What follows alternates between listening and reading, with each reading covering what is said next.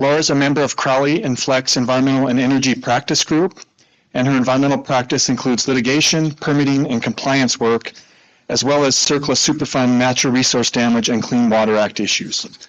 In 2010, Laura received a Master of Law degree in environmental law from Vermont Law School. Laura received her Juris Doctorate degree in 2008 from the University of Michigan Law School, and she holds an environmental studies degree from Middlebury College. She is the vice chair of the State Bar of Montana's Natural Resource, Energy, and Environmental Law section. Please welcome Laura.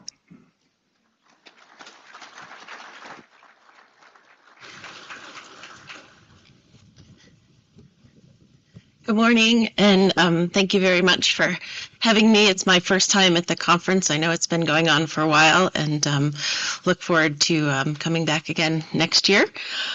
Um, so I'm going to speak today on the Clean Water Act and some recent um, decisions by the U.S. Supreme Court, and then ensuing um, rule uh, updates by um, EPA and also the Army Corps of Engineers that has led to a lot of litigation by many states um, in the United States um, in terms of uh, the extent of waters of the United States and and where where we draw the line between wet and dry um, and just you know it's a practical application clearly has effects on mining projects um, permitting permitting delays um, so something that we all should be aware of and you should be aware of um, with your mining projects as they're developed.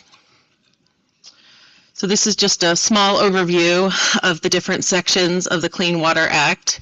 Um, you may be familiar with some of them. Um, the 402 is the discharge permit when you have a direct discharge. Um, today I'm going to focus on 404, um, which is when you have dredge or fill material in, in a wetland, um, and the Army Corps, um, as well as you know EPA, states, tribes, um, all all have some some role in that, um, but primarily the the federal agencies.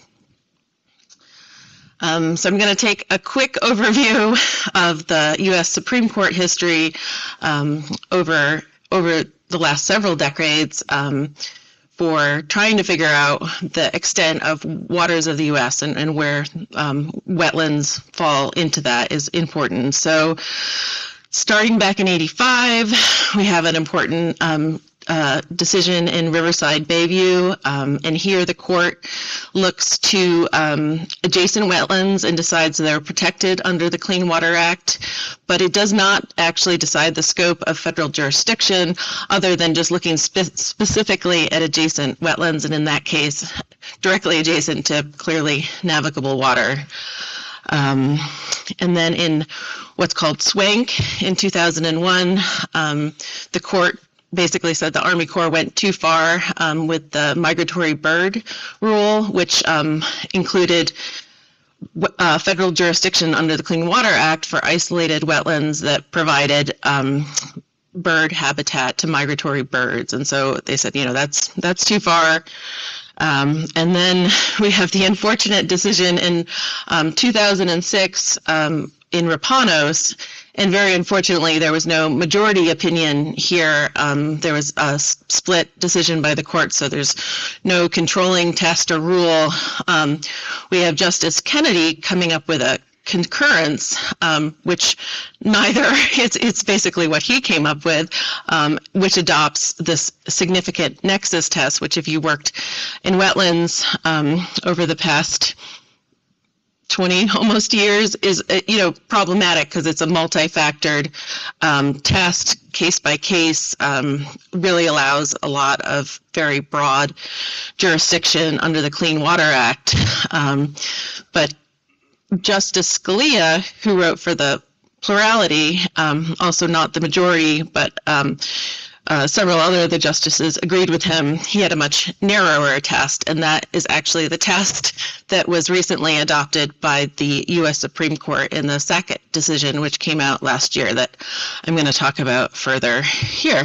So, just last May, so about a year ago, um, we had Sackett versus EPA. Um, this case is based in Idaho.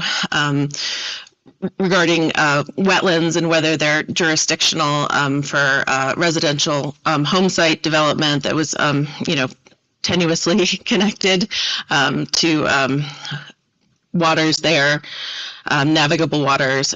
So here we have Alito uh, speaking for the majority um, in very, I think, clear terms, which is helpful to have a majority in clear terms. And he, you know, said this case is about nagging questions of the outer reaches of the Clean Water Act and the with the principal federal law um, in the United States for water pollution.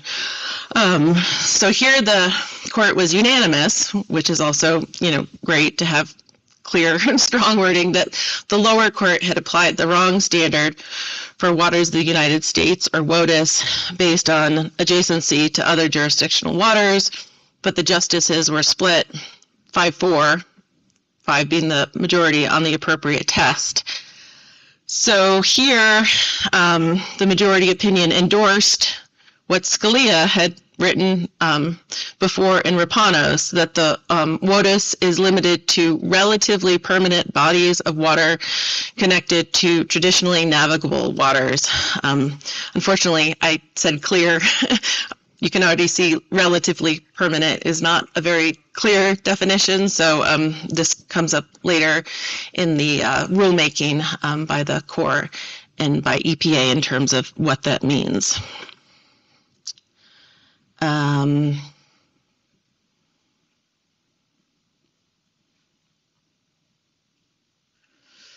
so um, to summarize, uh, the Sackett majority um, in its decision was looking to harmonize um, the term of waters of the United States with Section 404G1 of the Clean Water Act, which was added in 77, authorizing states to apply to EPA to um, for approval to administer permits um, for certain types of discharge and uh, except for certain traditional navigable waters or including wetlands adjacent there too.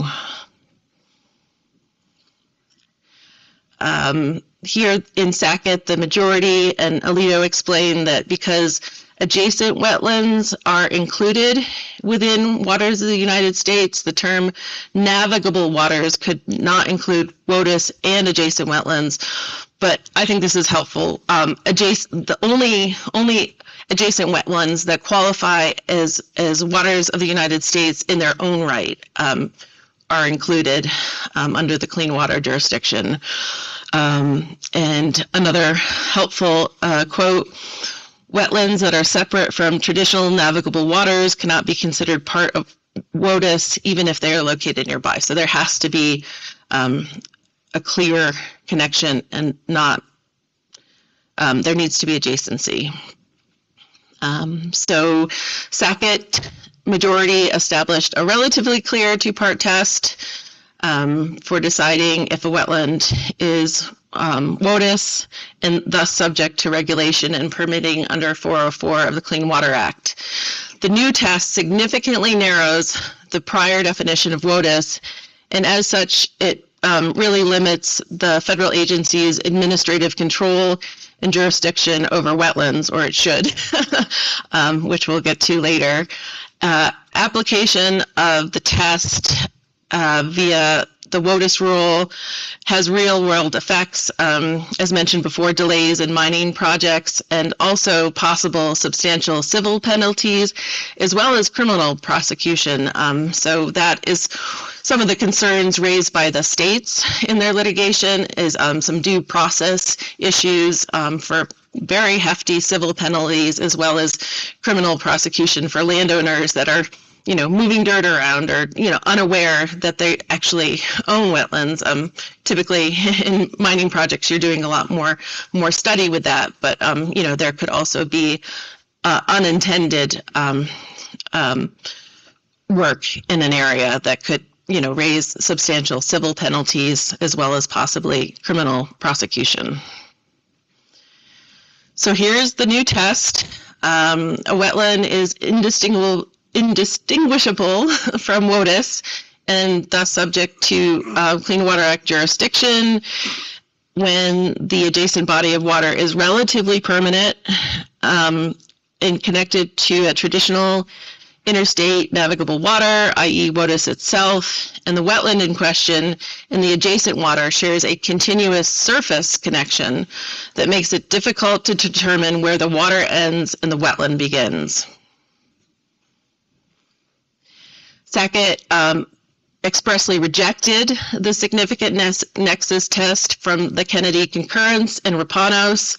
Uh, Sackett found that Congress must be uh, exceeding use exceedingly clear language if it wishes to alter the balance between federal and state power and the power of government over private property. So really getting to the federalism argument that lies at the heart of a lot of the Clean Water Act issues is how much can the federal agency come into the purview of states in terms of um, protection of their um, land and water resources. Um, it's the Sackett decision is the second term in which the court has held that Congress is required to provide very clear authoriz- um, to provide clear authorization to EPA, but had not done so. And this came up in the West Virginia case via EPA um, in 2002. Um, so I think the you know the court is being much more strict in terms of um, you know the language that needs to be provided for um, administrative action, which I think is helpful. So now I'm going to transition more into um, rulemaking for WOTUS by um, EPA and Army Corps. Um, and there's um, several different versions of these regulations. It gets rather confusing, but the pre um, 2015 regulations are important because that's actually what's in effect in Montana and 24 other states um, based on the, the litigation that I'll talk um, to later. So that's why we're looking at um, the pre 2015 regulation um, and there's a fairly lengthy definition of, of what waters of the United States include, both by the Army Corps and the EPA regulations and the Code of Federal Regulations with the sites there. Um, primarily, you know, the waters that are interstate waters or foreign commerce is key. Um, all interstate waters, including interstate wetlands. Um, and then uh, imp- impoundments are important, um, tributaries of waters, wetlands adjacent to waters, and there is a carve out for um, prior converted cropland, which is excluded from the rule. So after 2015 and before Sackett, we have three different rules by different administrations defining WOTUS. So clearly back and forth between administrations.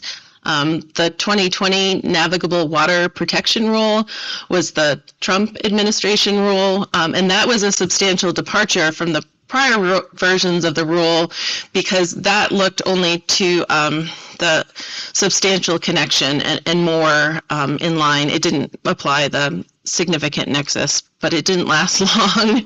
Um, and we have the most recent rule, which is the 2023 rule um, that first came out in January of last year.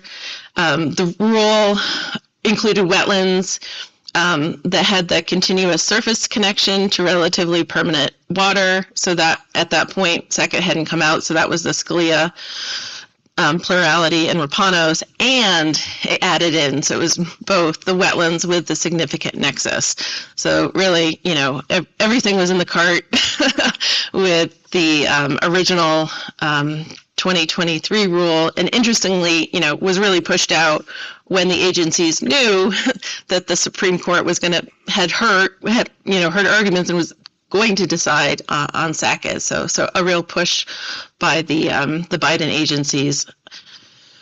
Um, so pretty much immediately, uh, in um, that January rule is supposed to become effective in March of last year. So in February, before the rule became effective, 24 states, including Montana, sued the agencies, challenged implementation.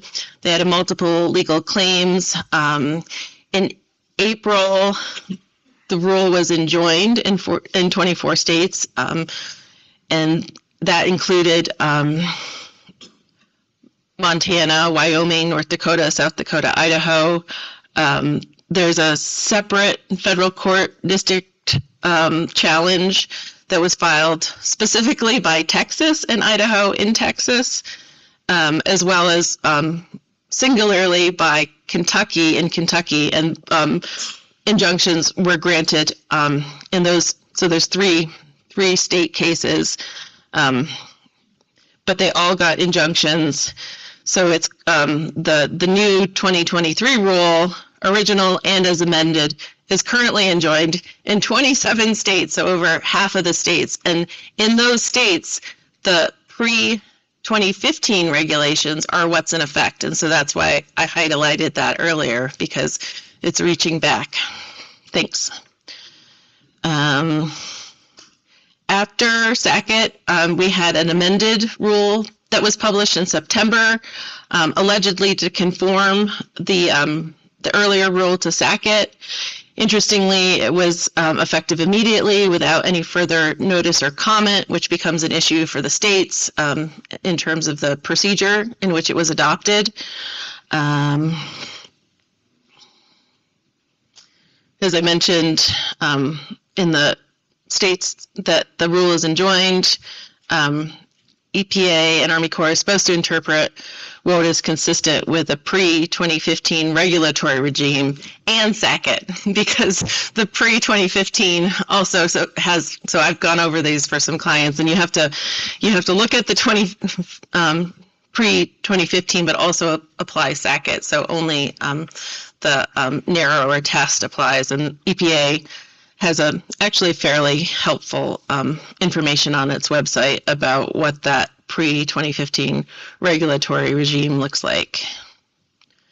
So here is a map showing in, I would say, purple, where the um, pre-2015 regs are in place, and in green, um, the 2023 rule as amended.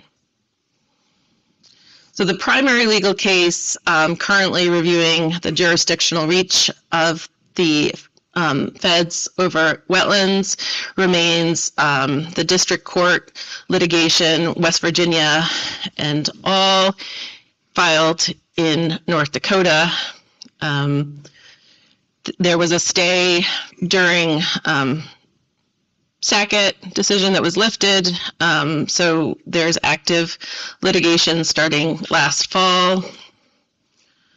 Um, states filed amended complaints in November of last year challenging the legality of the amended rule because originally they were only challenging the January rule. So they really have a ton of um, claims. I've spent a lot of time reading over the filings, they're pretty interesting.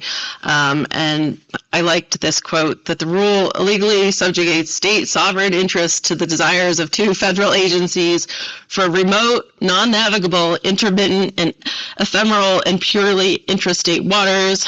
Um, there's been a ton of inter- um, interveners on both sides. There's a lot of national industry and trade groups. Um, including um, some mining mining interests, um, and then for the defendants, um, the, the, the feds, um, there's been Native American tribes as well as some NGOs in the Texas case that have intervened as def- defendants. So um, a lot of parties, uh, active litigation.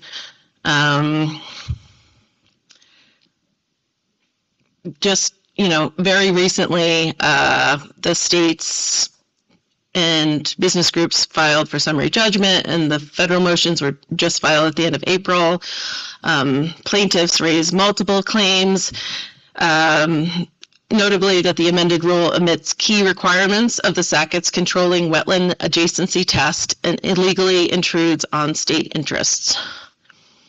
Um, there other claims include um, exceeding authority under the Clean Water Act and also the Administrative Procedure Act, um, where their jurisdiction should only be to navigable waters and WOTUS. There's claims of being um, the rule being unconstitutionally vague. Um, there's no um, definition of relatively permanent, uh, which is difficult um, and violations of the U.S. Uh, Constitution in terms of um, the Commerce Clause and, as I mentioned, the due process more for you know not knowing, especially for um, uh, private landowners, that you're violating something and could be subject to large civil and criminal um, penalties and fines. Um, and then the 10th Amendment reserving um, rights to the states and also the recent um, major question doctrine um, that had been clarified um, previously by the court, where you have to have a clear statement from Congress for agencies to enact a rule with major policy impacts on the U.S. economy. Clearly, because this wetland, what is wet and dry, affects so much much land. Um, so see. And then the agencies basically are saying that the states lack standing um, because uh, they don't have their injuries are speculative. Um, they fail, fail to show specific harm, and it's not ripe for review. So um, stay tuned this summer. Um, and I'll go quickly because I just have five minutes. So um, I mentioned there is other claims in Texas. Um, the legal arguments uh, are, are, very similar to the primary West Virginia case. Um, Kentucky, they're continuing to argue about, um, you know, whether it was dismissed um, improperly. Um, and then there's a couple recent cases I wanted to quickly cover um, by private citizen plaintiffs. So these aren't the states, these are just affected landowners. Um, so there was one that was just filed this past March in North Carolina where the amended rule is in effect by a landowner challenging jurisdiction. And then there's another very interesting case um, in the Fifth Circuit out of Louisiana where um, landowners had requested um, review under the Administrative Procedures Act, uh, the lower court's earlier decisions uh, in favor of the Army Corps' pre-Sackett findings under the significant nexus test that um, their properties, I think it was about 30% of their properties under the significant nexus test were wetlands, but ultimately the Fifth Court, Fifth um, Circuit applying um, Sackett said there was no wetlands. So that's a pretty big deal. This is the White v. EPA. This is the North Carolina case that just got um, filed and this is the Lewis v. U.S. This is the Fifth Circuit case that was just decided in December um, that found there was no wetlands under Sackett's clear controlling test, and the the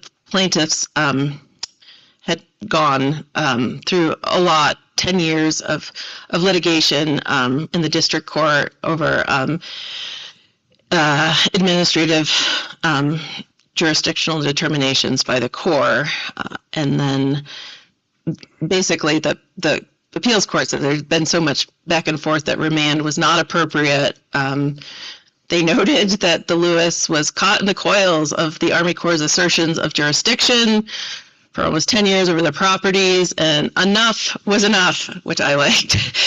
Um, and then they only looked to Sackett's test to find no wetlands. So, I mean, fortunately, there is some clarity from Sackett. Unfortunately, um, with what the agencies are doing, in my opinion, with the rule, doesn't follow Sackett and doesn't provide enough clarity. Um, and hopefully, um, the states will come out and the courts will come out with some better clarity looking to Sackett um, as the Fifth Circuit did in Lewis. Um, so my summary and parting thoughts are um, that Sackett did settle some of the the waters of the U.S. jurisdiction issues, um, but the current um, litigation continues and will likely continue for many years. Hopefully, we'll get some answers out of the courts um, for better clarity. Obviously, um, the rules are going to change with the administration and the upcoming election, depending on the outcome. Um, so the takeaway uh, that I, have is just to be um, careful and pay attention to what rule is in effect in the um, specific t- states that you're working in and, and monitor the litigation for those states for further development. With that, I'll, if there's any time for questions, I'll be happy. We have time for a couple questions.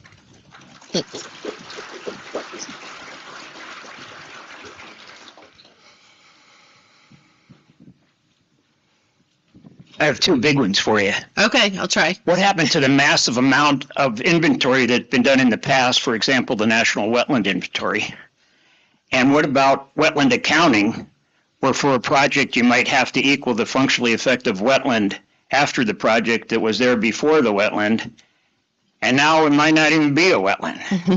It, it, it is difficult. Um, one of the projects I've been recently working on in Montana, um, there's a lot of jurisdictional determinations previously from prior development that didn't go forward. Um, and, um, you know, we can't really look back to um, those because they were done under the significant nexus test. Um, in terms of wetlands and the inventory, and I think there's a difference between a scientific determination of a wetland in terms of, you know, the hydro and the vegetation and the water um, versus, you know, what would be jurisdictional under the Clean Water Act. you can still have a wetland, but it's not necessarily a jurisdictional wetland. So, um, you know, in some states, I practiced in Massachusetts, and we had multiple layers of local wetland rules and state wetland rules, and um, also um, the federal rules. And so, for example, I'm in the Bozeman office, and the city of Bozeman is one of the few um, municipalities in Montana that have um, local wetland rules. And so, those on the National Wetland Inventory could still be, you know, wet, they're, they're wetlands. It's just a question of whether um, they're jurisdictional under the Clean Water Act. Does that answer your question? Not exactly. The whole intent is to get jurisdictional wetlands, and jurisdictional wetlands are used for wetland accounting too. So it's not just a, it's not just a question of somebody's subjective idea. I'm talking about jurisdictional wetlands. Yeah, I think And- that would and have to be massive revised. Inventory, millions and millions of acres in Alaska, all this work that's been done. Yeah. They just say, that's no good now? I don't think it's no good, but I think, you know, with the different test and the narrower test, it's going to be a lot less wetlands um, that are jurisdictional. And, and that was um, part of the why this Sackett decision was a big deal. It's because it takes out a lot of wetlands that were jurisdictional. So yes, I think that data, you know, will have to be reviewed and on a, you know, case by case basis. So unfortunately, it, it, it would impact that.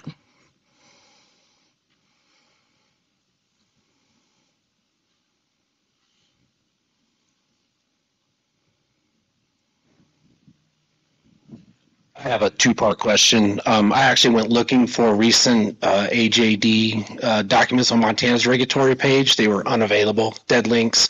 Have you seen a change, uh, a fundamental change in AJDs uh, since the the pre-2015 through Sackett rule has been put in place? And on top of that, is NEPA process a backdoor uh, for claiming impacts to what would be non-jurisdictional wetlands? And therefore having to potentially compensate or, you know, not through the Army Corps process, but offset impacts through the NEPA process as mitigation, you know, not under the Corps rule, but under some other type of way to address the NEPA process. Sure. Um, I know for the jurisdictional determinations, they are very slow. Um, there's a project I've been working on for the last year, and um, you know, it took. I mean, they're very slow in the first place, and I think they've gotten slower. Um, so, yeah, unfortunately, there's not a lot of direction um, from the regional offices for um, the Army Corps in terms of direction and timing, and um, you know, it is in my opinion, seeming like a bit of a, a black hole um, from my project experience. Um, and then I guess with the NEPA question, um, I don't, I don't have a direct answer on that, but it seems like a, a a potential option, but I, I can't speak to that. Time for one more question. Any last question? Well, thank you very much. Thanks, Laura.